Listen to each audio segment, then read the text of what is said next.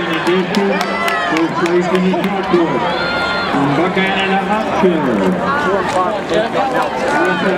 Kevin Hughes.